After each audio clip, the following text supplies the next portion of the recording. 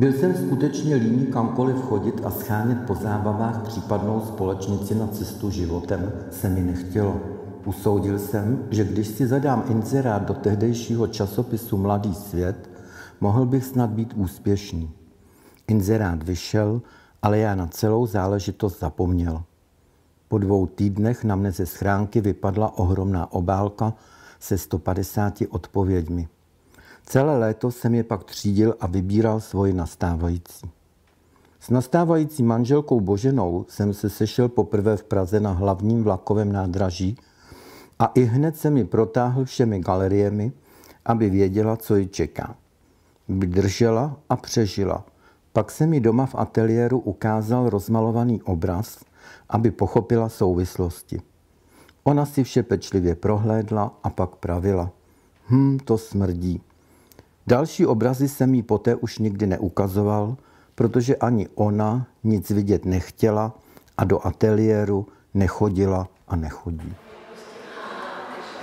To, že jsme nekladli příliš eh, velký tlak jako na to, v jakém časovém horizontu to nakonec vznikne, nebo eh, jsme si nečinili žádný nárok na, na, tu, na, ten, na tu konečnou vizualitu té výstavy, tak to možná vytvořilo eh, to, že jsme se vlastně úplně zase ocitli na tom začátku toho prvního setkání a ta výstava vlastně působí jako, nebo že si zanechala, myslím, tu, eh, tu první euforii. K tomu výběru došlo na základě nějaký dlouhodobé spolupráce kterou sam rozvíjí v galerii SAM 83 a zvolili jsme autory, se kterými jsme už eh, dříve předtím spolupracovali. Eh, oslovili jsme je a při tom prvním setkání jsem položila otázku, zda by byli ochotni ve výstavě pracovat s dílem toho druhého. Při tom prvním setkání jsme se všichni jeli podívat do ateliéru Václava Siky, který se vlastně stal eh, pro zbylé oslovené umělce jakousi můzou. Já jsem na druhou stranu zase chtěla, aby ta citlivost těch zbylých autorů, kteří budou nakládat s jeho dílem, byla dostatečná a zároveň, eh, aby pro všechny ta událost byla, byla událostí radostnou. Když jsme byli v jeho ateliéru a já jsem znovu viděl ty eh, barevné objekty geometrické, tak jsem měl v tom jeho ateliéru najednou takový prozření, eh, že ty objekty nejsou pouze o té geometrii, nebo o, bar, o barvě nebo o tvaru, ale najednou jsem v nich viděl určitou tělesnost nebo nějaký emocionální obsah, který v nich je. V tom vztahu, v tom, že ty věci jsou najednou kladený vedle sebe, tak já bych chtěl podpořit právě to e, emocionální a tělesní čtení těch objektů.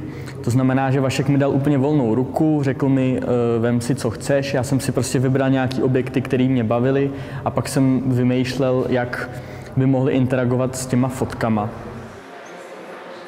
Když jsem se dostala do blízkého kontaktu s eh, dílem Václava Siky, tak jsem se rozhodla zaměřit na to, co máme společný. Já jsem eh, sbírala eh, kožené odřezky, které byly vždycky vybírané, aby to byly ty v tělových barvách. Použila jsem je úplně stejným způsobem jako Václav Sika, jako hotové tvary, které jsem obkreslila Další prací, která se vztahuje k dílu Václava Siky, je výběr z jeho vzpomínek, kdy jsem se zaměřila na komplikace nebo potíže, které vlastně vytyčily prostor pro tu jeho celoživotní práci.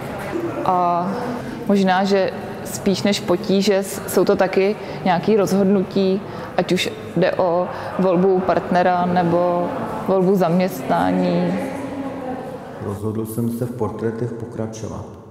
Říkal jsem si, že kroje na Chodsku nenávratně mizí, že těch žen, které kroj ještě denně nosí, je čím dál tím méně. Chtěl jsem tedy namalovat jako první fotku.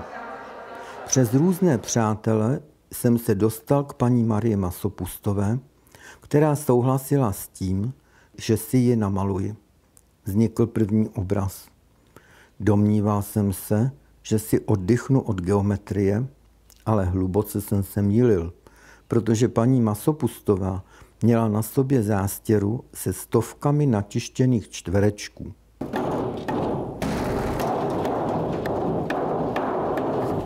Konkrétně tomu Václovi jsem teda udělal takový téma nějakého jakoby pojízdního ateliéru, který má nějaký svoje taky mouchy.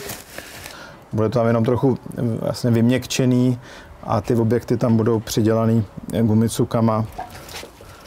Myslím, že tam je třeba brát potaz hodně ten fakt toho vlastně přemysťování, toho ne, ne vlastně nebejt na tom jednom místě. No a teď to má víc odstup konečně ten, kdo vlastně měl jakoby nějakým způsobem zastřešit tu věc, eh, tak eh, tam jsem si myslela, že zvolím Honzu Fabiana, který vlastně eh, se s nikým z autorů neznal a to mně přišlo vlastně taky důležité, aby jsme zjistili, jestli je možný navázat vlastně úplně vztah jenom skrz, to, skrz tu práci s tím dílem a jestli může dojít k nějakému jako jinému způsobu vnímání i jinému způsobu pohybu nebo schopnosti eh, těch autorů eh, vést ten dialog lépe než autorů, kteří se eh, výhradně věnují jenom svoji umělecké práci, nejsou tolik zapojeni v tom uměleckém provozu.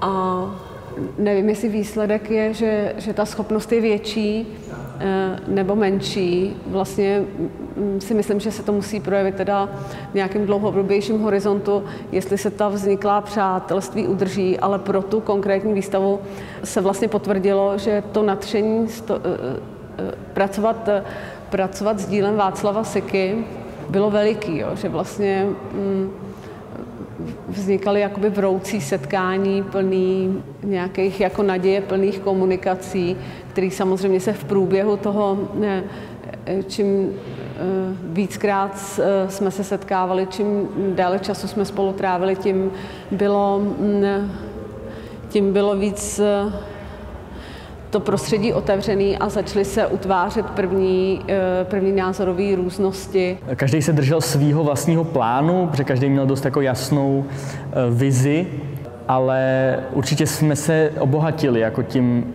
tím dialogem, který proběhnul třeba na těch společných zkouškách.